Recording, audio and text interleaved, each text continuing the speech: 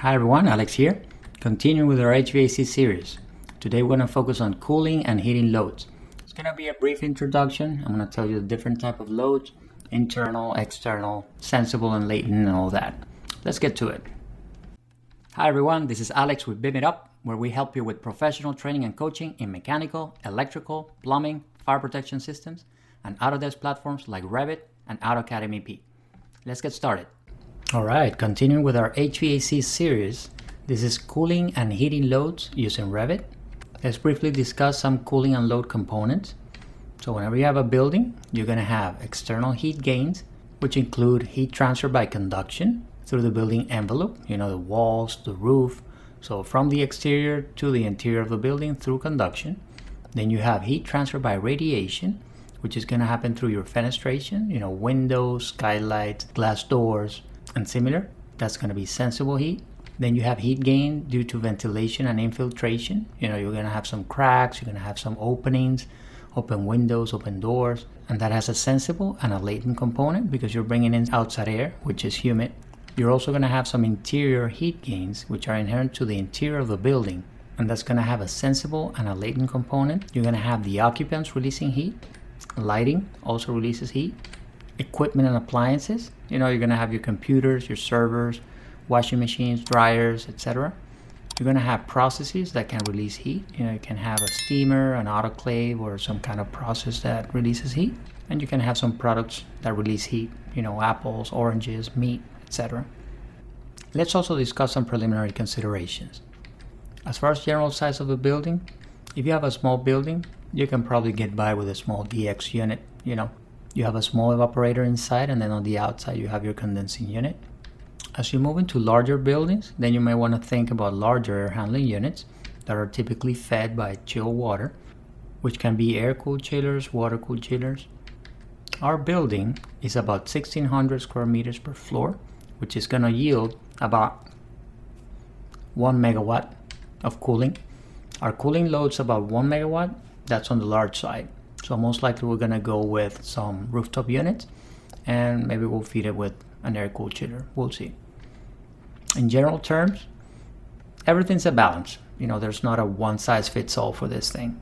You always have pluses and cons. So if you have fewer larger units, then you have a lower initial cost because one large unit is more cost effective than two smaller units.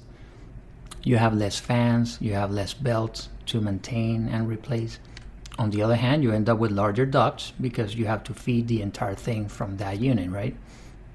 It also becomes impractical. You know, how do you get such a huge unit at the, at the top of the roof or inside of the mechanical room?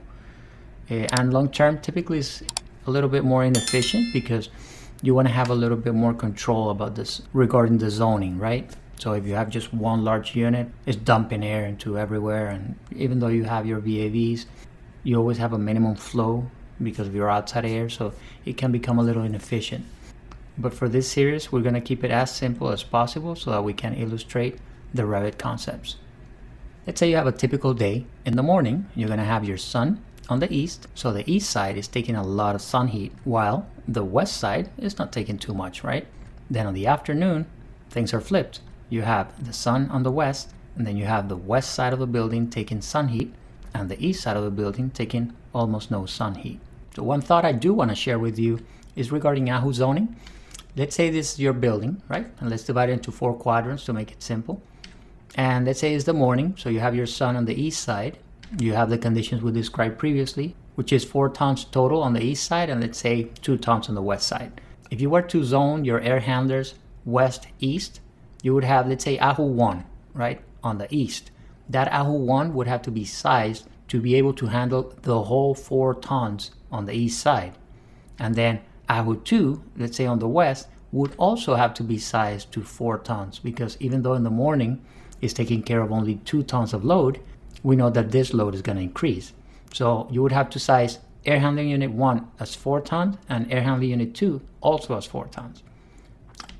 Whereas if you were to size north-south, so let's say you have the same building with the same breakout with the same tonnage in the morning, you could have an AHU 1 on the north side taking care of only the north load, which would be 2 tons plus 1 ton, so it's 3 tons. And then you could have AHU 2 taking care of the south side, which would be two tons on the east and one ton on the west. So even though in the afternoon this is gonna become two tons, this side is gonna be one ton, one ton. Anyway, just a thought, uh, the units will be sharing the load and uh, there's just so many variables to take into account that even some that contradict what I'm just saying now, it's just too many variables and it all depends on your particular case. So let's just focus on our building. Our building's gonna be predominantly cooling because we're in Miami, Florida. We're gonna have various RTUs on the roof, obviously.